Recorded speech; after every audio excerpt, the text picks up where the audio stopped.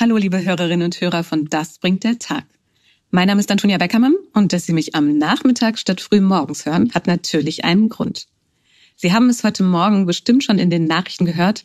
Es war der wahrscheinlich wichtigste Schlagabtausch vor der Präsidentschaftswahl am 5. November.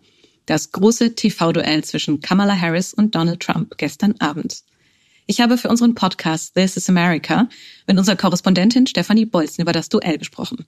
Wer hat gepatzt, wer hat gepunktet und was für Folgen hat all das für die Wahl im November? Sie können die Folge jetzt hier direkt hören. Und wenn Sie sich generell für US-Politik und den Präsidentschaftswahlkampf interessieren, dann springen Sie danach doch gleich rüber auf Ihrer Podcast-Plattform zu This is America und abonnieren Sie den Podcast. Dann hören Sie jede Woche eine neue Folge. Donald Trump has no plan for you. She doesn't have a plan. Take a look at her plan. She doesn't have a plan. Ja, das waren nur zwei ganz kurze Zitate aus dem vielleicht wichtigsten Schlagabtausch vor den US-Präsidentschaftswahlen am 5. November. Kamala Harris gegen Donald Trump gestern Abend im TV-Duell in Philadelphia. Und beide Kandidaten hatten die Debatte schon vorab als crucial bezeichnet, also als entscheidend für ihren Wahlkampf. Vor allem für Harris war das die Chance, die Amerikaner, von denen viele sagen, dass sie sie nach wie vor nicht richtig kennen, von sich zu überzeugen. Wir sprechen hier gleich darüber, ob ihr das gelungen ist. Konnte sie sich definieren oder wurde sie von Trump definiert? Wie ist das Duell gelaufen? Wer hat gepunktet? Wer hat vielleicht auch gepatzt? Darüber sprechen Stephanie Bolzen und ich jetzt hier bei This is America. Und wir freuen uns sehr, dass Sie dabei sind. Make America great again. Our country is in serious trouble. This is America. Trump gegen Harris. Ours is a fight for the future and for freedom. Die US-Wahlen 2024 wie die USA um ihre Zukunft kämpfen. We are going to win. And God bless the USA. Stephanie, du hast dir die Debatte ja gestern in Yuma County in Arizona angeschaut. Wie war denn die Atmosphäre dort?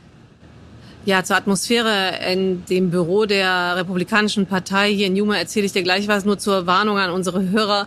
Ich sitze hier draußen gerade und wie man das ja kennt in Amerika, vor allem in Arizona, also es ist wahnsinnig heiß. Es sind jetzt noch 99 Grad Fahrenheit, also weit über 30 Grad.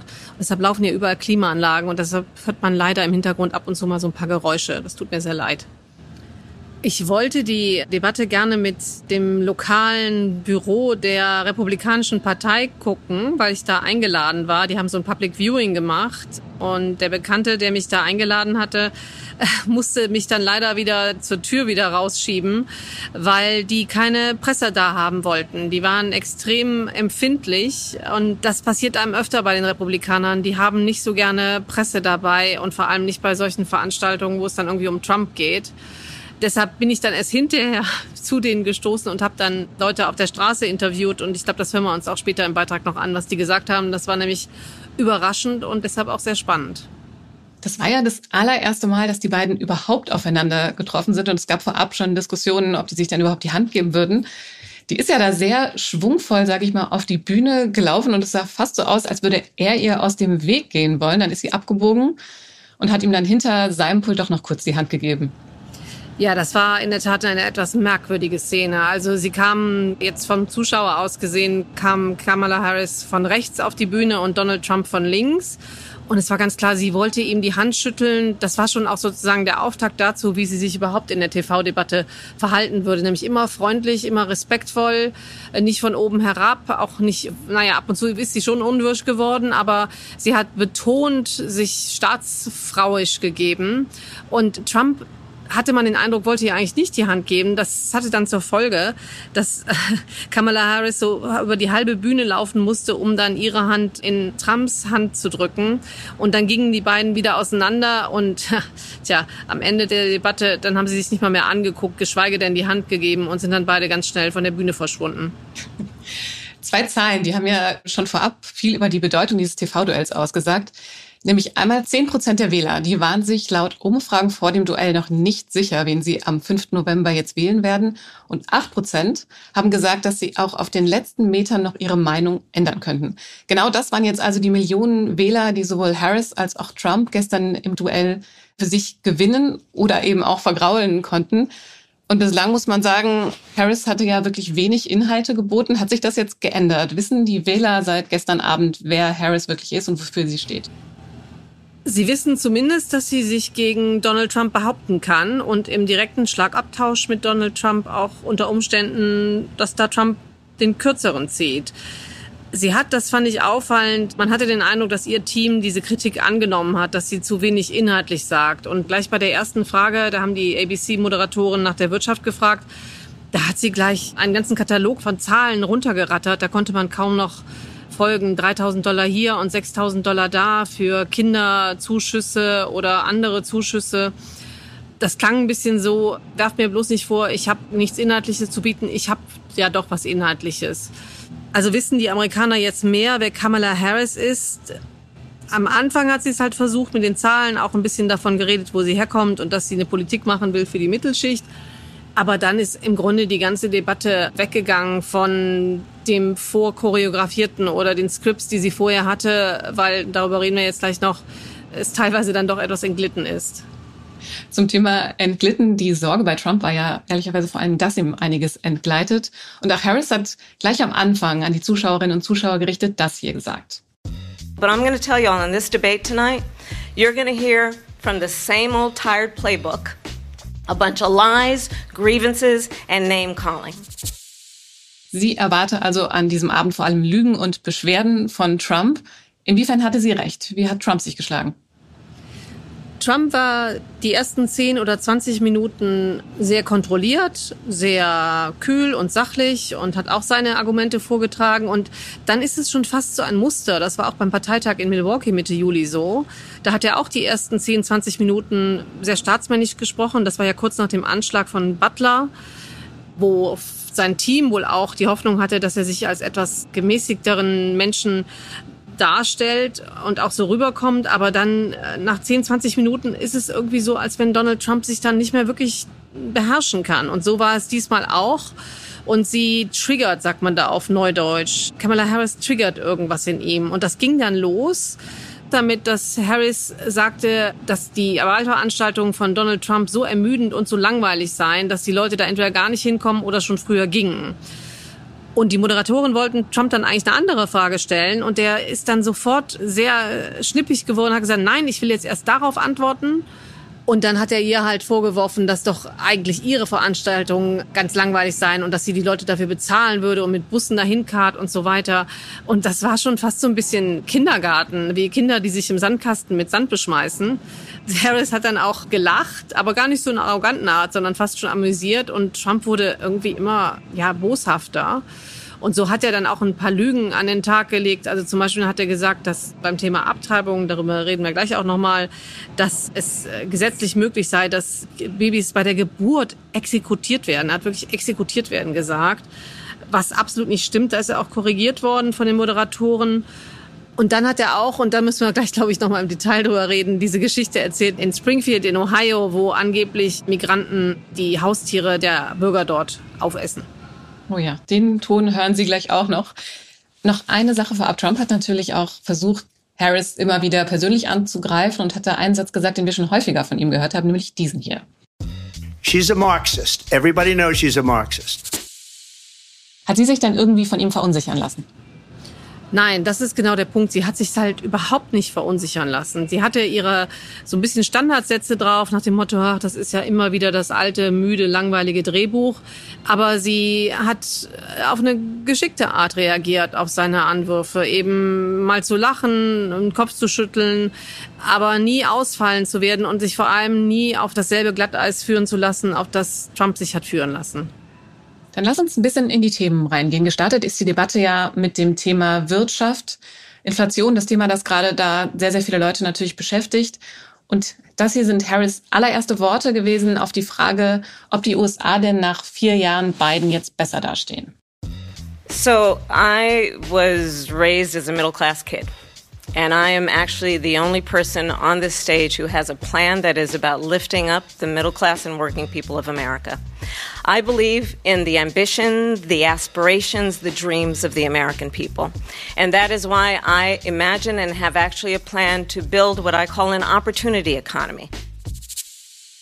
Sie sagt also nochmal, dass sie selbst als Kind in der Mittelschicht aufgewachsen ist und eben für diese Mittelschicht und auch für die Arbeiter etwas tun möchte.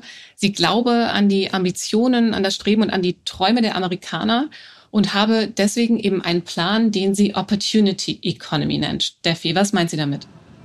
Antonia, ich weiß es nicht. Also das ist eine der Fallstricke von Kamala Harris.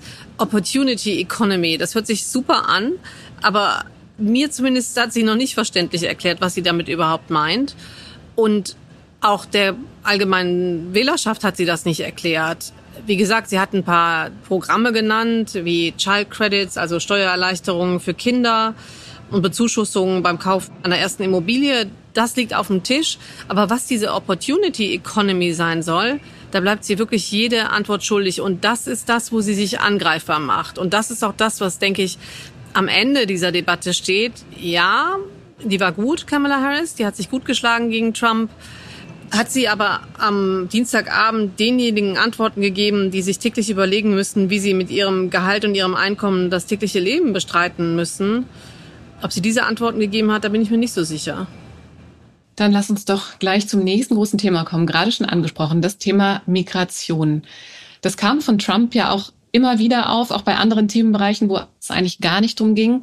Es ist ja auch sein wichtigstes Thema. Und hier ist nochmal das Zitat, was du eben schon erwähnt hast.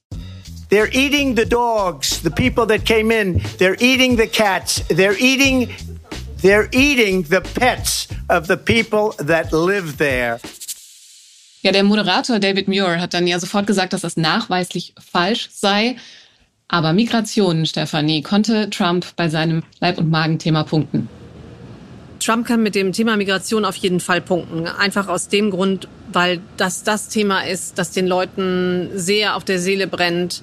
Nach Wirtschaft ist es das Thema, das am meisten von den Bürgern genannt wird, wenn sie gefragt werden, welche Sorgen und Ängste sie haben und warum sie welche Partei am 5. November wählen. Und auch am Dienstagabend, als ich mich nach der Debatte dann noch mit ein paar Republikanern unterhalten habe, da ging es sofort wieder um das Thema Border, also Grenze und damit Migration. Und Trump hat fast ein halbes Dutzend Mal während der 90 Minuten, auch an Stellen, wo es überhaupt nicht um Migration ging, immer wieder zu Migration gesprochen.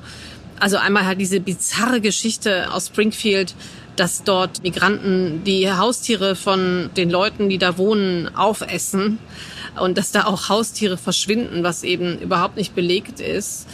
Aber er kommt dann immer wieder auf sein Schlagwort Migrant Crime zurück. Also Migrant Crime ist so ja ein, ein Slogan, den er geformt hat und den er versucht, den Wählern einzubläuen, dass eben durch die steigende Migration auch die Kriminalität in den USA angestiegen sei.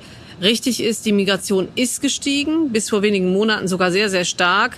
Die Kriminalität ist aber nachweislich nicht gestiegen. Also das passt nicht zusammen. Da versucht Trump was zu projizieren, was Ängste auslöst und weshalb die Leute eben denken, dass sie Trump wählen müssen, damit in Anführungszeichen die Migration aufhört.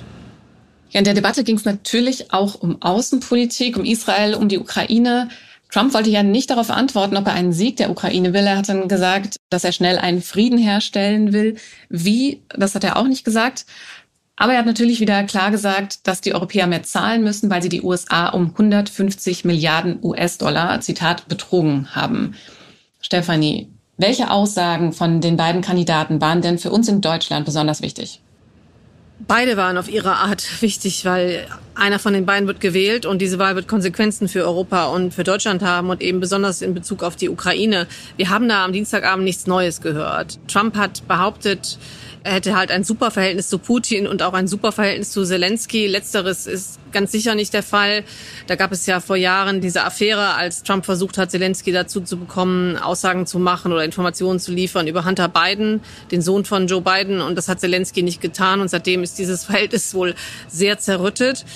Trump hat dann eben auch wieder die Europakeule rausgeholt, dass die Europäer nicht zahlten, dass sie die Amerikaner über den Tisch zögen und die Amerikaner 150 Milliarden US-Dollar mehr gezahlt hätten bisher. Das stimmt alles überhaupt nicht. Das sind Zahlen, die nicht richtig sind. Und dann hat er auch, und das zum Thema Lügen, hat er auch gelogen und hat gesagt, vier Tage vor Beginn des Krieges sei Kamala Harris zusammengetroffen mit Putin und mit Zelensky und kurz danach sei der Krieg ausgebrochen. Das stimmt auch nicht. Also was stimmt, ist, im Februar 2022 war Kamala Harris in München bei der Sicherheitskonferenz und hat da tatsächlich Zelensky gesehen, aber Putin war gar nicht da. Und zu Harris, äh, die hat auch wiederholt, was sie schon oft gesagt hat, dass Amerika eben eine globale Führerschaft in der Welt übernehmen müsse und dass das nur ginge im Bündnis mit anderen Alliierten, die eben dieselben Werte teilen, Länder der NATO. Von daher, da hat man also nicht wirklich was Neues gehört. Gab es dann irgendein Thema, bei dem jetzt beide in Schlingern gekommen sind? Ich denke, das Thema Abtreibung ist für beide Seiten schwierig. Das klingt beinahe überraschend, aber es ist eben enorm komplex, enorm schwierig und natürlich hoch emotional. Trump hat das Problem, dass er durch die Besetzung des Supreme Court, die er ja maßgeblich mitverantwortet, wo jetzt eben diese drei ganz konservativen Richter während seiner Amtszeit an den Supreme Court gekommen sind. Eine Folge davon eben war, dass im Juni 2022 Roe versus Wade gekippt wurde, also das national geltende Recht auf Schwangerschaftsabbruch. Die ganz extremen Pro-Life-Anhänger, also die ganz extremen Abtreibungsgegner, die erwarten von Trump aber jetzt noch mehr. Die wollen, dass er eben ein nationales Abtreibungsverbot verhängt. Trump weiß aber genau, dass das bei einer ganz großen Mehrzahl auch in seiner eigenen Partei überhaupt nicht gut ankäme. Und deshalb beruft er sich immer darauf, er habe ja aber doch dieses Thema jetzt an die Bundesstaaten zurückgegeben durch den, das Urteil des Supreme Courts und die könnten ja jetzt entscheiden. Das Problem ist nur, dass in manchen Staaten so extreme Maßnahmen, und darüber haben wir auch schon gesprochen in anderen Sendungen, so extreme Maßnahmen durchgesetzt wurden, dass eine Abtreibung selbst im Fall von Vergewaltigung und Inzest und Gefährdung des Lebens der Mutter gar nicht mehr möglich sind. Und es gibt Zehntausende Amerikanerinnen, die vor dem wirklich schwierigen Problem stehen, dass sie nicht wissen, wo sie eine Abtreibung machen können und durchs Land reisen müssen oder teilweise eben auch illegale Abtreibungen vornehmen lassen müssen. Und das ist natürlich eine Seite der Medaille, die dann wiederum den Demokraten in die Hände spielt, weil die sagen, dass die Republikaner den Frauen Amerikas das Recht auf Gesundheit verwehren. Für Harris ist es aber auch schwierig, weil sie sich eben auch nicht festlegen will, was soll denn jetzt die Frist sein. Also sie schlingert da auch ein bisschen. Und bis zum Sommer 2022, muss man sagen, war das national geltende Abtreibungsrecht ja auch im Vergleich zu Europa vor allem und vor allem im Vergleich zu Ländern wie Polen oder Malta sehr, sehr liberal. Und Harris will sich da nicht festnageln lassen, in welche Richtung sie geht. Und deshalb ist sie auch ausweichend. Sie gibt da auch keine konkreten Ziele oder Fristen vor und geht stattdessen dann immer über zum Angriff auf Trump. Ich würde noch eine Frage gerne stellen, nicht direkt zu Harris und Trump, sondern zu den Moderatoren. Nach dem letzten TV-Duell von Trump, damals noch gegen Joe Biden, gab es ja große Kritik an den beiden Moderatoren Jake Tapper und Dana Bash, weil sie die Aussagen der beiden nicht wirklich gefact-checkt haben. Wie lief das jetzt gestern Abend ab? Wie war das ABC-Moderatoren-Duo? Das waren ja Lindsay Davis und David Muir. Um mal ein bisschen eine Lanze zu brechen für unsere Kollegen, es ist ja auch wirklich extrem schwer in einem Live-Interview, vor allem bei jemandem wie Donald Trump, der eine Behauptung nach der anderen aufstellt, die bizarr und krass und sonst was sind, die mal eben Fact zu checken oder auch gleich die Fakten im Kopf zu haben. Aber das stimmt, jetzt beim ABC-Interview ist es mindestens zweimal so gewesen, dass er unterbrochen wurde von den Moderatoren. Einmal, als er eben behauptet hat, dass in Amerika legal Kinder sogar bei der Geburt noch getötet werden könnten finden. Da hat der Moderator interveniert und hat gesagt, das stimmt nicht. Und das Zweite war, als Trump dann diese bizarre Geschichte erzählt hat von den Migranten, die jetzt Hunde fangen und verspeisen. Da haben die Moderatoren auch interveniert und gesagt, sie hätten eben nachgefragt in dem Ort bei der Verwaltung und die Verwaltung hat gesagt, diese Fälle sind ihnen nicht bekannt. Also von daher war das ein bisschen besser. Ich muss sagen, ich könnte mir sehr gut vorstellen, dass aus Sicht der Republikaner sich Trump sehr ungerecht behandelt fühlt. Und ich muss wirklich sagen, das müsste man jetzt noch mal in Ruhe auswerten. Aber wenn man sich die Fragen anguckt und wie sie gestellt wurden, dann sind die ABC-Moderatoren mit Kamala Harris deutlich, deutlich sanfter umgegangen als mit Donald Trump. Dann natürlich zum Abschluss die Frage, die uns alle interessiert und die wahrscheinlich für dich und für alle super schwierig zu beantworten ist. Die Umfragen sind ja denkbar knapp. Die New York Times hatte schon gesagt, die Flitterwochen für Kamala Harris sind vorbei. Die Zahlen haben sich wieder angenähert. Wir wissen, es ist eine Glaskugel, aber was glaubst du jetzt nach der TV-Debatte? Wie könnte sich das ändern? Wer hat aus deiner Sicht jetzt die besseren Chancen, mehr Wähler gewonnen zu haben? Mein Bauchgefühl ist, und das hat natürlich überhaupt keine empirische Grundlage, dass sich gar nichts ändert. Ich kann mir nicht vorstellen, dass nur die Tatsache, dass Kamala Harris sich wesentlich besser geschlagen hat, als man es befürchtet hätte, dass das jetzt Hunderttausende Wähler umstimmt für die Demokraten. Was man heute Abend schon sagen kann, ist, dass bei den Demokraten während der Sendung, das, oder zumindest hat das das Team von Harris rausgegeben, dass schon wieder die Spenden nach oben gegangen sind. Harris hat ja eh schon mehr als eine halbe Milliarde Dollar eingenommen, seitdem sie die Nachfolge von Trump angetreten ist. Und offenbar ist es auch so, dass gleich am Dienstagabend angesichts der guten Performance von Kamala Harris bei den Demokraten die Kasse geklingelt hat. Das wiederum bedeutet natürlich mehr TV-Spots, mehr Postwurfsendungen, mehr Radioshows, mehr Mitarbeiter und so weiter, mehr Umfragen. Das ist auf jeden Fall von Vorteil für die Demokraten. Aber das ist so eng. Das Rennen ist so eng auf der nationalen Ebene, aber dann eben auch vor allem in den Swing States dass ich es vermessen fände, jetzt zu sagen, Harris hat gewonnen und damit hat sie auch gute Chancen, nächste US-Präsidentin zu werden. Auf jeden Fall hat sich jetzt ja auch Taylor Swift geäußert und hinter Harris gestellt. Mal sehen, ob das noch irgendwas bringt. Stephanie, kommen wir zu den Amerikanern. America Unfiltered. No, go ahead. Du hast ja direkt in Arizona danach noch mit Terry und Mark gesprochen und sie gefragt, wie das TV-Duell denn aus ihrer Sicht gelaufen ist. Dazu muss man wissen, beide wollen Donald Trump wählen. Und ihre Antwort auf deine Frage, die waren dann doch sehr unterschiedlich. Kamala did well. A lot of people are to like her. He, he could have been far worse. He has been less than diplomatic in a lot of his speeches, calling her stupid, calling her whatever. But at the same time, he wasn't. He was more statesmanlike than he has shown in the past sometimes. So I think he probably got some he got some respect as well.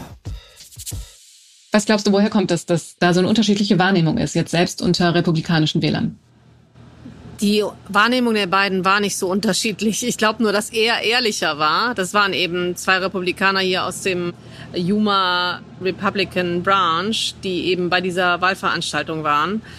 Und er war einfach offener und hat gesagt, Kamala war überraschend gut. Die hat das echt prima gemacht und er hat das Gesicht verzogen, als er gesagt hat, a lot of people are going to like her. Also eine ganze Menge Leute werden die jetzt mögen. Das hat ihm gar nicht gefallen, aber er hat das eingestanden. Und sie ist dann eher so rumgerudert. Sie wollte es nicht zugeben, dass Kamala Harris überraschend gut abgeschnitten hat und hat dann versucht, das so ein bisschen abzuschwächen nach dem Motto, er hätte ja noch viel schlimmer sein können. Weil sie dann auch sagte, na ja, es gab ja auch schon Gelegenheiten, da war er noch weniger diplomatisch. Also das war so ein bisschen Schönreden davon, dass Trump am Dienstagabend nicht seine beste Leistung abgegeben hat und vor allem viel, viel schlechter war als am 27. Juni, als er gegen Biden angetreten ist. Allerdings hat es Biden ihm bekanntermaßen da ja auch sehr, sehr leicht gemacht und deshalb heißt das zweite TV-Duell im Wahlkampf 2024 ja auch nicht Biden Trump, sondern Harris Trump.